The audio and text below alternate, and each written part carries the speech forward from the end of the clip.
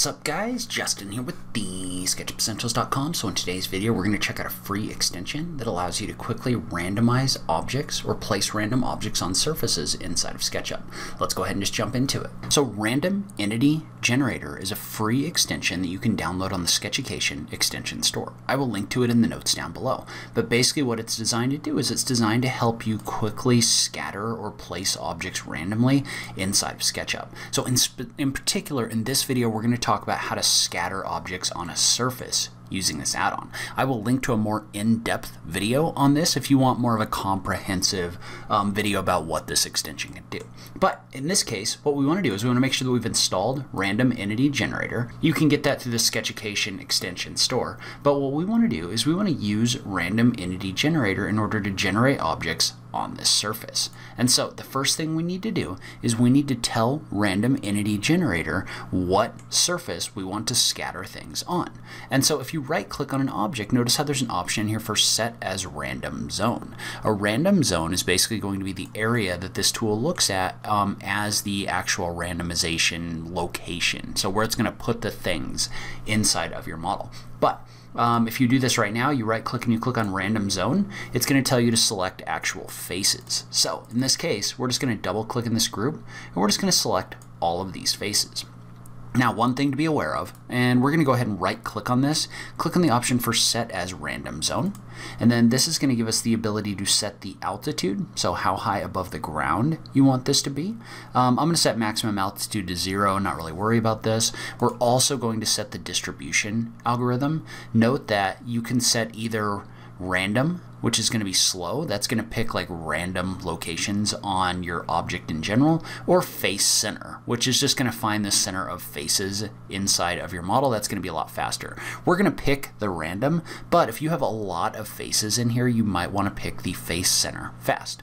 But we're going to click on OK. This is actually going to take a little while to do. So the larger your number of surfaces you're going to have in here, the longer this is going to take. So at the moment though, this surface has been added to the list. Well, what that means is that means that now I can actually select an object like this, right click on it and click on the option for randomize. And what that's going to do is that's going to allow me to set the number of objects that we're going to randomize. And you can set a bunch of other things, which we'll talk about in a second. We're going to click on OK. So that's going to randomly place objects on your surface inside of SketchUp. And so notice how it's just randomly placing these along the surface right here. And so there's a few things about this that I want to change. First off, I don't want to spread a whole bunch of my me and Bonnie model. Um, I actually want to spread something else, like something that makes sense, like trees or something like that. Second, I want to get a little more specific with um, how exactly I'm distributing things inside of this model. So what I'm going to do is I'm just going to download a component. So we're just going to pick one of the landscape components that's in here. So in this case, for example, um, I clicked on the first folder. I actually want to go back. I'm just going to go into the low poly plants folder. Um, that ought to be good for what we're trying to do here. So, and we can go ahead and select some 3D trees. So I'm just going to add this evergreen We'll go with the evergreen magnolia tree for right now. So we're just going to place that inside of our model somewhere. So now what I can do is I can right click on that tree and do a randomize. And this is going to place this um, 100 times. That's the number of entities I've selected on my surface like this. So you can see how this can be a really quick way to add a bunch of objects inside of your model. Now you do need to be a little bit careful though because this can add a whole bunch of geometry really quickly. So you just need to be aware of what you're creating. Like notice how now, for example, my SketchUp is taking a minute to load all of this stuff in um, just because there's so much being generated. So that is one thing to be aware of. Another thing to be aware of is when you do this, let's take a look at our settings. So right now, for example, we've got this on a preset of custom. Well, what I want to do is I want to drop this into a preset of trees.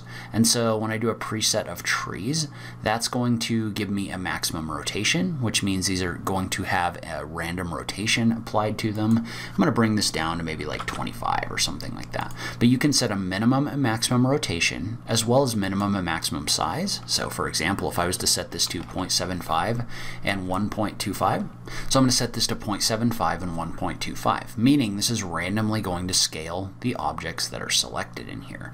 So in addition, um, we can also, we're not going to worry too much about this one for right now, but we can also set if these are going to follow the face normals. So a normal is basically the calculation of the direction that a face is uh, facing. So what that means is that means that for like a flat surface, this would be a straight up and down, but for an object like this one, um, your normal is more going to be kind of like diagonal, like this, right? So if you set the option to follow face normals, then your trees aren't going to grow straight up and down. They're going to get placed at like kind of odd angles. So in this case, we don't want to follow face normals.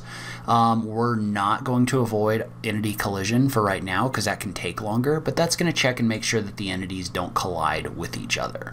So you can also set, if you put these on either a layer, this has an updated to tags, but it's basically the same thing, or if you want these to go in a group. And actually, I'm not 100% sure if the put entities in group is working right now, but we'll go ahead and try it. But now we've got this set up with some better settings. So now I can click on the OK button. When I click on the OK button, what that's going to do is that's going to add a number of different trees inside of my model. And so notice how what this did is just place these below the ground. So all of these got placed below the ground, right, a little bit. So the reason for that is because we left the value of push entities to down 50 centimeters on 50 we're going to set the push entities to down to zero. And then we're just going to run this whole thing again. So we're going to click on OK. And now notice how my trees aren't really running through the ground as much as they were. So I think this is placing these based on the actual object uh, origins right here. So notice how in this situation, for example, these are actually getting placed a little bit below the ground. So it's placing the origin a little below the ground, which I'm not really sure why it's doing that. Um, so that is a little bit frustrating, but there's not a lot of it. Most of them are are going to do exactly what we need them to do. So I'm not going to worry too much about it for right now.